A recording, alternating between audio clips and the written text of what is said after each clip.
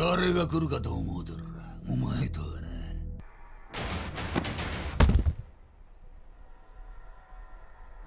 やる気なんか。答えるまでもねそうか。残念や。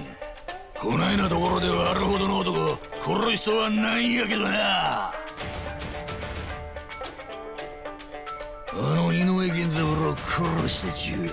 坂本龍馬って男にもろだもんやなんだと？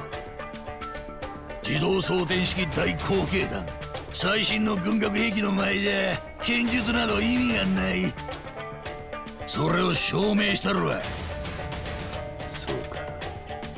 ならその銃も敵の一つというわけだな。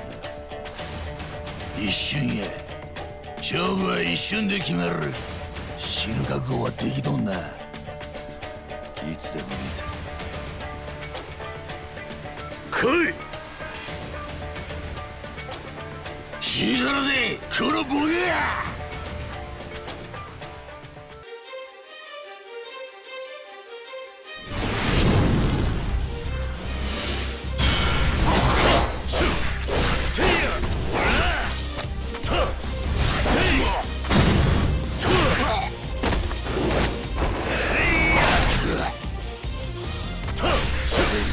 せいや。